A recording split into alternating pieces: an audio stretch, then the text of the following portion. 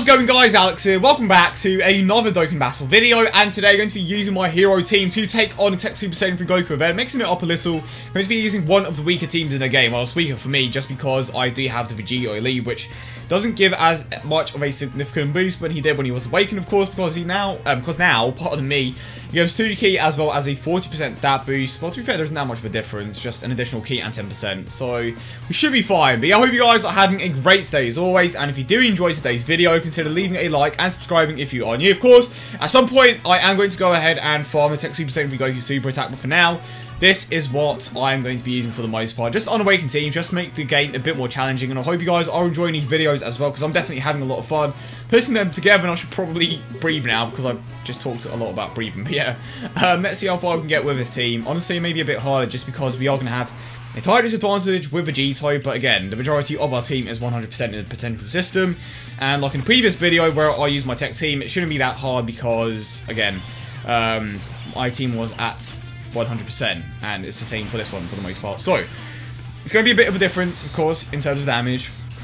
Especially because we are on a lead that doesn't give that much of a boost in comparison to the previous team. So, honestly, I think I'm maybe overestimating, um, overestimating the team, which is something that I shouldn't be doing. Yeah, I don't even think we're going to take this stage out. Like, his attack stat is significantly lower in comparison to my Tech 5 team. Yeah, I think we are definitely going to struggle a bit. I got pretty lucky here because I got the additional super attack. But once we get to the, um, that last stage, that is where I'm going to have to be super conservative with my items because he just has that KO, um, KO attack, which is just going to wipe me out in one hit. Right, so let's go with this. And yeah, this is where some of the problems are going to start to arise because, again, the main link that is shared here between the majority of these units is prepared for battle. Well, I got super lucky here. Now let's see what Vegito can do. I mean, when it comes to tanking, he isn't going to be as good as the Awakened one just because his defensive stat is significantly lower, but he should still be pretty solid. I was going to say we do have the debuff from Vegeta, but that only applies to extreme types, and he got the additional super attack. That's awesome. I legit can't speak. I kind of woke up, so my apologies if I can't construct sentences at certain points in the video. Now we have the Vegeta. I kind of wish I made a super attack a bit different because I feel like the Galick is just super generic at this point. I, I just feel like I've seen it a lot now, but yeah. Wow, that attack stat is pretty damn low. To be fair, this Vegito just may not be that good when it comes to the potential system, which is what adds to it, of course.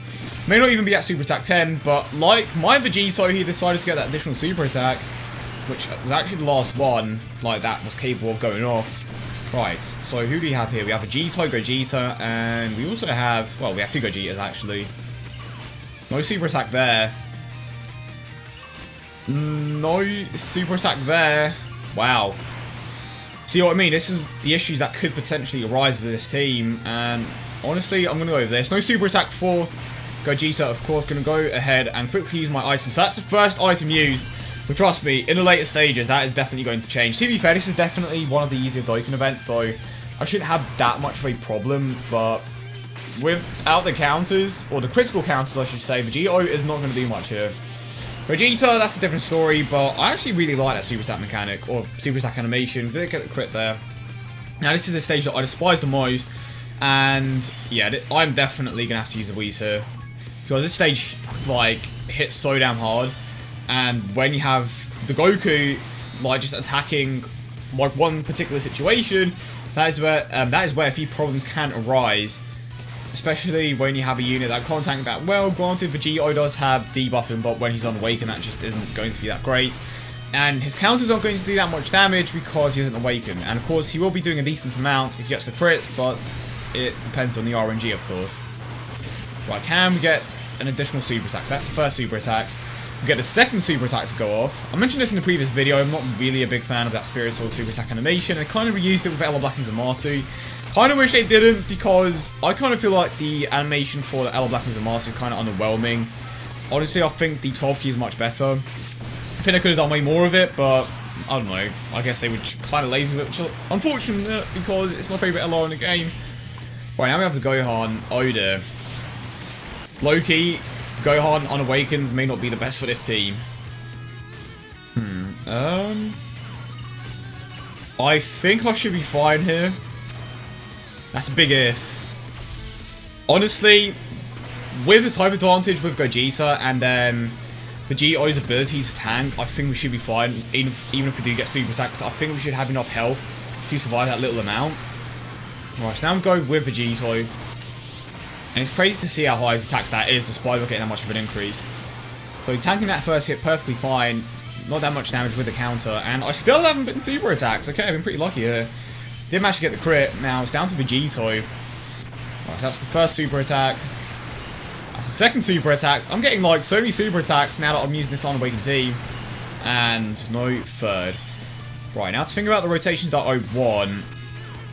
Um, honestly, it may not be beneficial to keep the Super Saiyan Blue Vegeta around just because he probably won't be able to super attack that consistently. And because of the type, I mean, he would have a type advantage, but it doesn't matter that much if you can't get the super attacks to go off. I think the biggest problem that I'm going to have is, you know, surviving because he can hit so damn hard during this last stage, and if I don't kill him in time, that's pretty much it for me.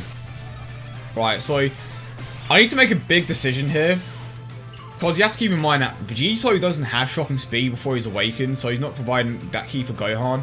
I want to keep Gogeta around, but I'd like I'd rather have the counters with Gogeta, and I'm taking a bit of a risk here, so I kind of want to Usher, but at the same time I don't. I think if I get super attacks, I'm done. I don't... You know what? I have two Ushers left. I'm going to go with this. I, um, or I have one Whis left. I have two Ushers left. I was going to just avoid the super body attacks altogether, but I kind of want to get the counters off just so I can put as much damage in as I can. But Gohan should be able to tank the majority of these attacks, and he doesn't really super attack that frequently when it comes to this first, you know, like, rotation, so I should be fine here. But if Vegito doesn't get any crits, this is where I could encounter a few problems. So 100k per crit, not the worst, but not the greatest by any means. But who do I want to get the Dokkan mode with? 22k. Oh, this is a bad decision. This was a bad decision.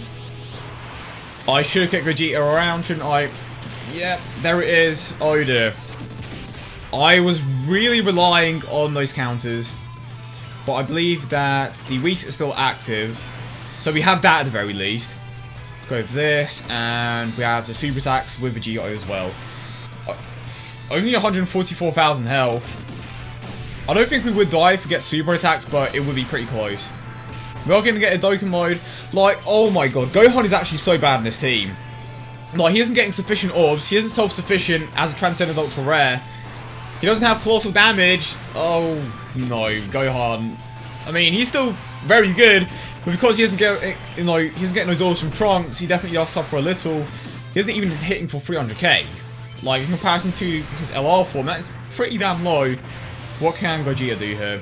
I think he's by far hardest hitter on his team. STR Gogeta's pretty close, and he gets the additional super attack. Okay, definitely helping us out, um, out a bit here. Is it going to be a crit, though? It is going to be a crit. Gogeta coming in clutch. And it's a crit. This can be done right now. Okay, it's going to come down to Vegito. Gogeta coming in with that clutch counter. Okay. Is it going to be enough to take him out, though?